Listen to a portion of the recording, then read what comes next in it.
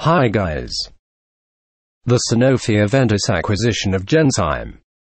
Contingent value rights. Case solution and analysis. This case was created for MBA students in derivatives or M&A classes.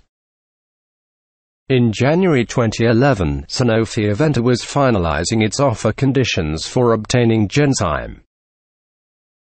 The M&A valuation disputes were about a drug in Genzyme's pipeline, the marketplace potential of alemtuzumab, and how fast Genzyme could resolve some of its making problems. To bridge the difference in their own approximations, advisors had proposed an upfront cash payment along with a contingent value right CVR. Was a CVR the magic alternative to bridging the valuation difference?